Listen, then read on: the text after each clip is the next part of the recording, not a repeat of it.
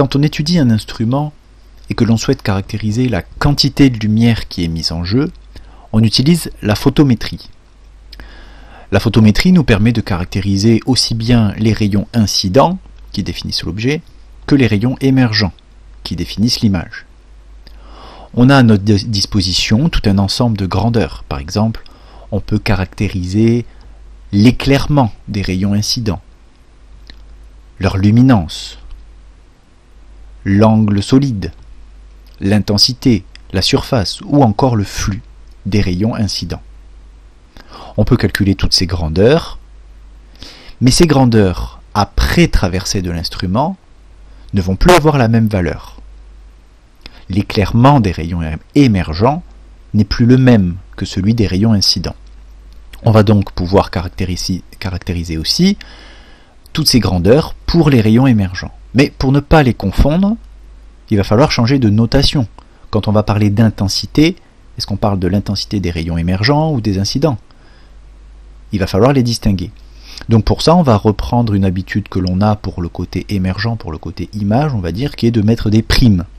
Si je veux parler de l'intensité des rayons émergents, je vais mettre I' pour ne pas le confondre avec l'intensité des rayons incidents. Et on va faire ça pour toutes les grandeurs. Petite exception pour le flux qu'on pourrait appeler F', mais qui sera plutôt noté Ft pour flux transmis. Exemple, je veux étudier euh, l'éclairement des rayons incidents, je prends la formule du cours.